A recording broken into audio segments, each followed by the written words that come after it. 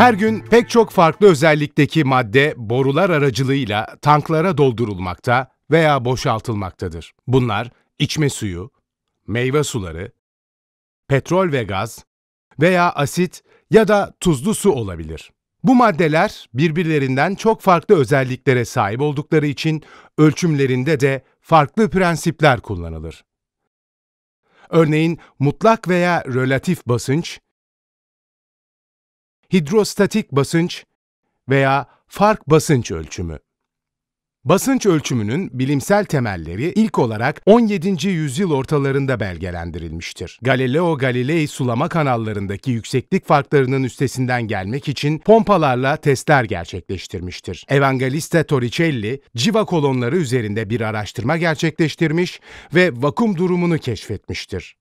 Blaise Pascal bu deneyleri duymuş ve araştırmayı ilerleterek havanın ağırlığını tanımlamıştır.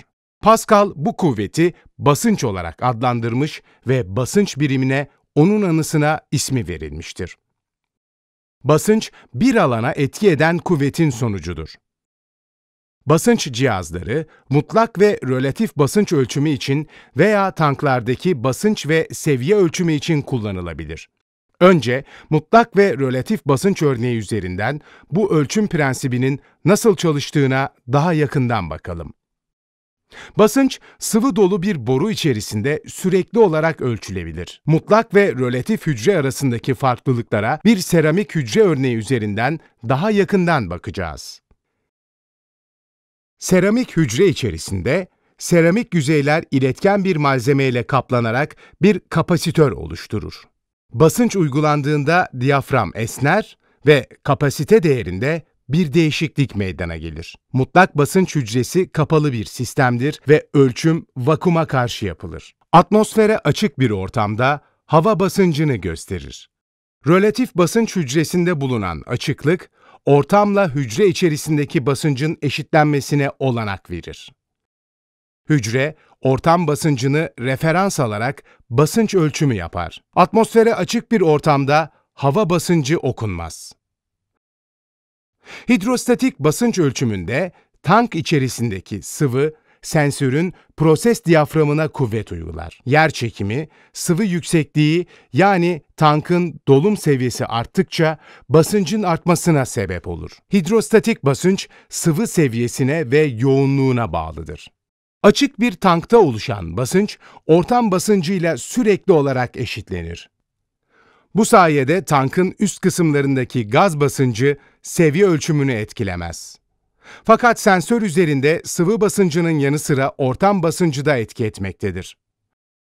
Ortam basıncı düzeltmesi gerçekleşen bir sensör relatif basınç sensörü olarak adlandırılır. Şimdi bu tip bir sensöre daha yakından bakalım. Contite ölçüm hücresi silikon teknolojisine dayanarak hidrostatik seviye ölçümü için özel olarak geliştirilmiştir. Dirençler silikon çip üzerinde bir Whetstone köprüsü oluşturacak şekilde yerleştirilmiştir. Basınç uygulandığında proses diyaframı esner ve direnç değerinde değişim oluşur. Sensör içerisinde sıkıştırılamayan bir yağ, basıncı proses diyaframından değerlendirmenin yapıldığı silikon çip üzerine aktarır. Kapalı bir tankta fark basınçla ölçümde ortam basıncının seviye ölçümüne etkisi yoktur. Sıvı kolonu basıncının yanı sıra üst kısımdaki gaz basıncı da ölçülmektedir. İki değer de yağ dolu kapiler hatlarıyla transmitere iletilir.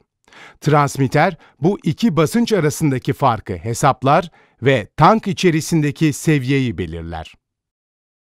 Endres Hauser'in basınç enstrümanları, standart uygulamaların yanı sıra yüksek sıcaklık, yüksek basınç ya da korozif ve aşındırıcı ürünleri barındıran zorlu uygulamalarda basınç ve seviye ölçümünün yapılmasını sağlar.